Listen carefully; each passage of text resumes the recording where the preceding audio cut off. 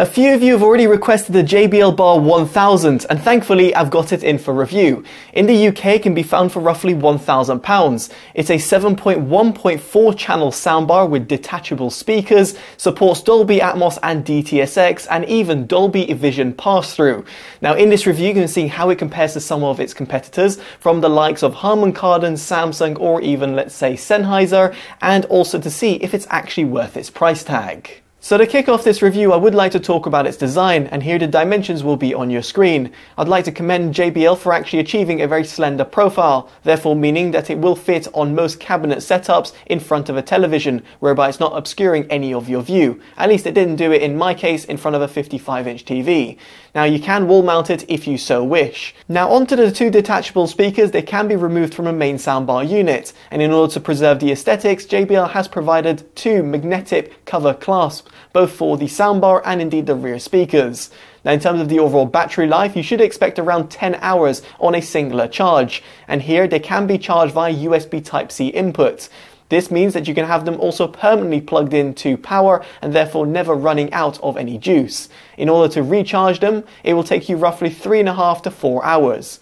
Now, aside from external power supply, you can also plug in the rear speakers back into the main soundbar unit, and here they will charge when they're in standby mode, which makes it quite convenient. So therefore, meaning if you have it plugged into the soundbar and then you want that cinematic experience, you can simply detach the speakers, place them near your sofa or indeed just behind you in order to really get that room filling experience. So moving swiftly on, we get onto controlling the soundbar, and here at the top of it, there's a few physical buttons, which are certainly appreciated over touch-sensitive buttons. Better still, you've got a little LED indicator that's at the front of the soundbar, therefore giving you the ability to know what settings you're adjusting, or including the metadata that's being played through it, for example, Dolby Atmos or DTS:X. Now, if you do want to control your settings from afar, there's a bundled remote. It's very sleek and stylish, and I've got no complaints whatsoever.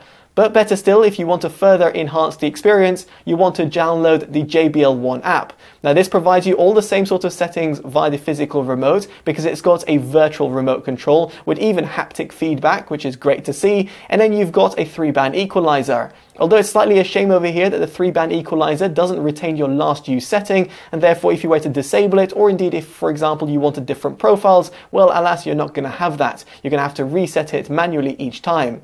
You can also integrate with different music services straight from the app, and also you can adjust a lip sync delay, all of which are certainly appreciated and adds to the overall functionality of the soundbar.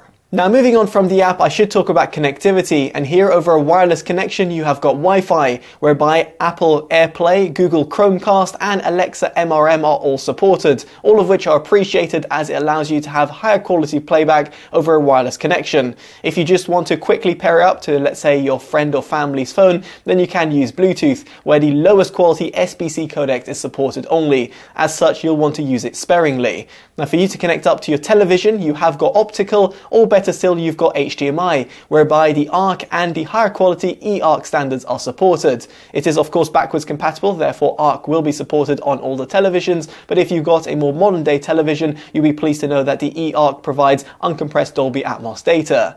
Now, in order for you to connect up devices to the soundbar unit, you have got three HDMI inputs. It's great to see three inputs indeed supported. And if I'm not mistaken, there are also HDMI 2.1 ports, therefore allowing you some 4K 120 Hz pass through via modern day consoles. So with all of that out of the way, let's get on to a sound demo. I appreciate it's not going to be ideal over YouTube nor using my microphones, but it'll give you a bit of a taster. First off, we'll be playing back Priya J's track titled Like Me, where we flicking through different modes, so definitely do check out the annotations on your screen.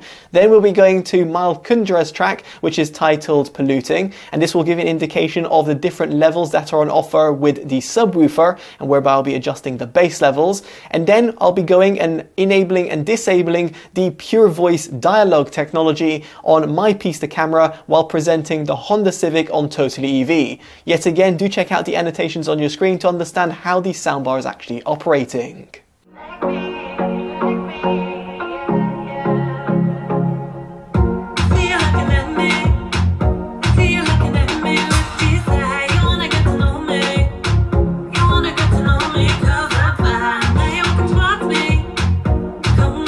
If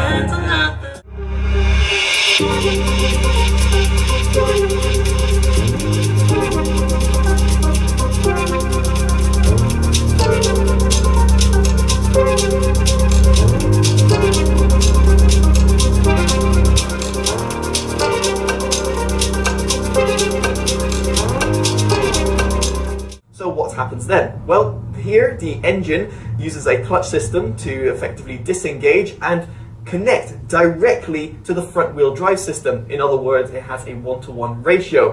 This therefore means that you are going to be a little bit more efficient on the road because you're not having to go and power the electric motor or power the battery pack, rather that the engine is powering the front wheel drive system. Now with the audio demo out of the way, I should just quickly mention the soundbar setup. There's 880 watts of total power output. 440 watts is delivered from the main soundbar unit, 70 watts on each of the surround speakers, and 300 watts from the 10-inch subwoofer unit.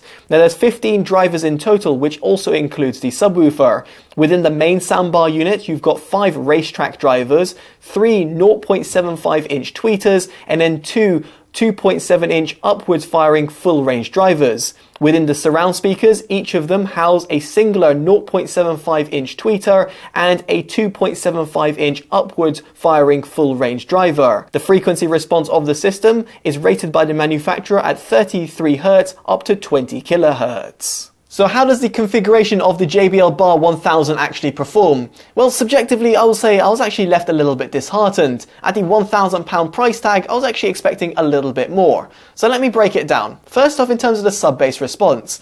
Now you have got a big, hefty 10-inch driver that's comprised within the subwoofer unit. But unfortunately, it's more quantity rather than quality because it only extends down to 33 Hz. A lot of its competitors actually offer a little bit better. Say for example, the Sennheiser Ambeo Soundbar Plus is far superior in this department, or indeed some of the alternatives out there from the likes of Sonos or Bose, which offer a dedicated subwoofer unit, which can be purchased as an additional extra, but then is providing you with a far superior experience. Frankly, over here, I was expecting a little bit more in terms of the overall quality of the sub-bass experience. Now don't get me wrong, the overall quantity is plentiful. In my case, the level 3 mode seems to be the sort of right sort of tuning, at least for my room's acoustics. I felt the amount of quantity in terms of the sub-bass rumble was certainly there and can certainly be felt. Therefore, it can give you some vibrating door frames if you're going to really be clanking it up, specifically under higher levels. Now as for the mid-bass, I've got no complaints whatsoever. The main soundbar unit does do an excellent job of providing good quantity and quality across the mid-bass tones. You're going to be left excited when you're listening back to your favorite tracks, or indeed, let's say when you're consuming movies or watching videos. Now, as for the mid-range, this is where I was actually left the most disappointed. Even if you were to enable the pure voice function, I think you'll find that the mid-range just feels a bit too recessed. In comparison to its competitors, including its siblings from the likes of Harman Kardon and Samsung, which are all within the same group, here I just felt that the alternatives within the Samsung group just provided a far better experience across the mid-range tones, specifically in terms of the lower mids. Aside from this, you have got some alternatives from the likes of Creative or even Sennheiser that provide a far superior job of delivering a far more engaging mid-range response. And as a result, it just left me disheartened when I was listening back to dialogue. Even when I was watching, let's say, movies and here there's dialogue and action scenes, I just felt that the bass and the highs were just being accentuated a bit too much and provided a bit too much of a V-shaped sound signature. Now as for the highs, they extend relatively well, but I was expecting a little bit of that zingy top end. You might have noticed via the app that I did increase the treble quite significantly, and by doing so it gave a little bit more life to the high end extension, but still I was expecting a little bit more. Now aside from the pros and cons of its sound frequency range reproduction, what about when it comes to soundstage? Well here the overall width and depth and also the instrument separation isn't bad, although some flagship systems from the likes of Harman Kardon, Samsung, Samsung and also Sennheiser provide a far more engaging experience due to the multitude of extra drivers they've got housed within the main soundbar driver or indeed via their rear speakers. For example, if we take the flagship system from Samsung, it integrates three drivers within each of the rear facing drivers, whereas there's only two within the JBL Bar 1000. Now, what I will say here is that it's great to see that detachable speakers can be used in different ways, and specifically if you take it away from the main soundbar unit, you will get that bettered experience, whereby it's filling more of the room and gives you a little bit more of that engagement with the content you're consuming. I'm not really sure if that came across via my audio demo, but I can safely say that when sat in person, I certainly preferred using the soundbar setup with the audio drivers placed next to me rather than within the main soundbar unit. Hopefully that makes sense, but effectively what I'm trying to say is that the overall soundstage reproduction is neither great nor is it bad. Now, for me to further demonstrate the overall soundstage, I would like to go and talk about the increased metadata, and that is Dolby Atmos. Now here it does support also DTS:X, but in my own configuration, I've got Dolby Atmos in terms of a demo, and here I'll be using Transformers Age of Extinctions. Do check out the annotations on your screen, because I'll be flicking through Dolby Atmos and also Dolby Digital.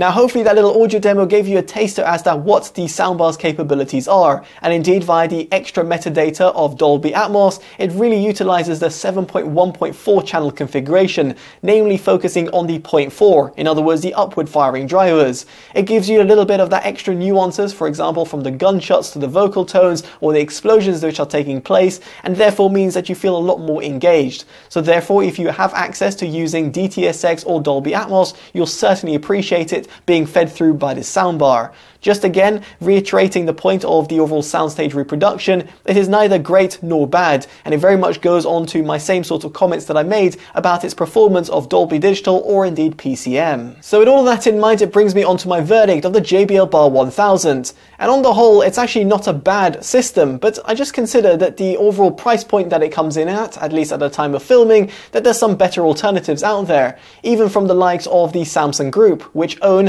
JBL and Harman Kardon, and indeed over here, the likes of Samsung and Harman Kardon provide good overall soundbars within their respective categories. Aside from this, you've got alternatives from the likes of Sennheiser or Creative to also look at, and then of course you've got then the likes of Sonos and also Bose. These will all excel in their own respective categories, and my favorites will be down description below for your own consideration.